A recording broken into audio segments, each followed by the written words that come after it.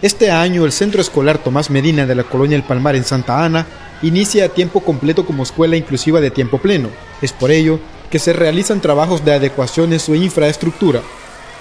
De los proyectos que se están realizando en la escuela, pues se avisó la necesidad de hacer algunas adecuaciones y algunas ampliaciones ya que tenemos niños con capacidades especiales, algunos en silla de ruedas, y estos niños en años anteriores han tenido problemas para poder accesar a la segunda planta, ya que en el tiempo que hicieron esta escuela, pues no se pensó en ese tipo de jóvenes que también tienen derecho a una educación. En su construcción, la escuela no fue diseñada para estudiantes con capacidades especiales, y como respuesta a esa necesidad, han iniciado las intervenciones.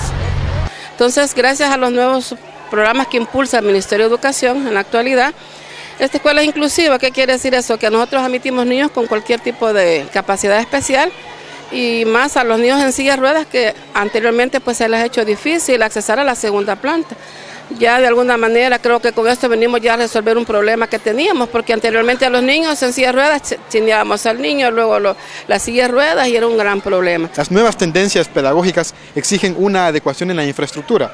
Es por ello que en la Escuela Inclusiva de Tiempo Pleno Tomás Medina de Santa Ana se ha iniciado un proyecto, el cual en su primera fase asciende a 50 mil dólares. En esta etapa se encuentra la construcción de una cancha entechada, construcción de aulas para talleres de música y de ciencias, y para abril se tiene previsto iniciar la segunda etapa. Así que en esta primera parte se está haciendo una rampa de acceso, también tenemos talleres vocacionales en la zona de las canchas, están techando una cancha, un proyecto de 50 mil dólares en la parte 1.